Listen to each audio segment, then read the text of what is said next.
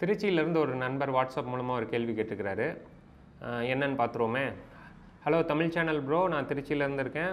எனக்கு ஒரு சந்தேகம் இருக்குது என்னோட யூடியூப் சேனல் வீடியோவை என்னோடய வெப்சைட்டில் எம்பட் பண்ணலாமா அப்படின்னு கேட்டிருக்காரு அப்படி எதனால் அந்த கேள்வி அவருக்கு வருதுன்னா அந்த வெப்சைட்டில் ஆட்ஸ் வரும் எம்பட்டட் வீடியோஸ்லேயும் ஆட்ஸ் வரும். ஸோ அதனால் ஆட்ஸன்ஸ் அக்கௌண்ட்டுக்கு ப்ராப்ளம் வருமா அப்படின்றத இன்னும் டீட்டெயிலாக கேட்டிருக்காரு எதனால் அப்படி கேட்குறாருன்னா அவரோட வெப்சைட் ஆட்சன்ஸ் ஐடியும் யூடியூப் ஆட்சன்ஸ் ஐடியும் ஒரே இமெயில் ஐடி தான்.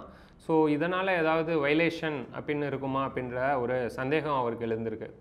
ஆக்சுவலாக நம்ம எத்தனை ஆட்ஸ் வச்சுருந்தாலும் சரி ஒரு ஆட்சன்ஸ் அக்கௌண்ட்டு தான் வச்சுக்கணும். ஸோ அந்த ஒரு ஆட்சன்ஸ் அக்கௌண்ட்டை தான் நம்ம வெப்சைட்டுக்கும் யூஸ் பண்ணுவோம் யூடியூபுக்கும் யூஸ் யூஸ் பண்ணுவோம்.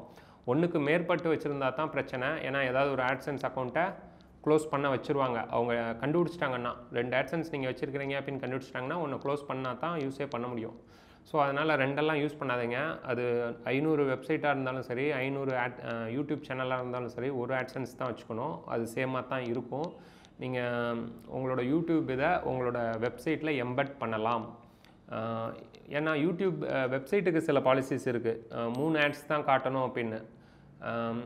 ஏன்னா வெப்சைட்டை பொறுத்த வரைக்கும் கண்ட்ரோல்ஸ் அதிகமாக இருக்கும். எந்த இடம் எங்கே காட்டலாம் அப்படின்லாம் ஸோ அது நீங்கள் தாராளமாக காட்டலாம். யூடியூப்பில் வீடியோஸை பொறுத்த வரைக்கும் நீங்கள் அந்த வீடியோவையும் எம்பட் பண்ணிக்கலாம். அந்த வீடியோலையும் ஆட்ஸ் வரும். சேம் இதாக இருக்கிறதுனாலலாம் எந்த பிரச்சனையும் கிடையாது. இது வந்து அவங்க பாலிசிக்கு உட்பட்டு தான் நம்ம பண்ணுறோம் அவங்களே அலோவ் பண்ணுறாங்க ஒரு வெப்சைட்டில் ஆட்ஸும் போட்டுக்கலாம். அந்த வெப்சைட்டில் யூடியூப் வீடியோஸும் போட்டுக்கலாம். வீடியோஸ்லேயும் ஆட்ஸ் வரும். ஸோ இது வந்து பயப்பட வேண்டிய விஷயம் இல்லை. தாராளமாக நீங்கள் பயன்படுத்தலாம். உங்களுக்கு ஒரு கிளாரிட்டி கிடச்சிருக்கும்னு நினைக்கிறேன். மீண்டும் அடுத்த ஒரு வீடியோவில் சந்திப்போம். நன்றி.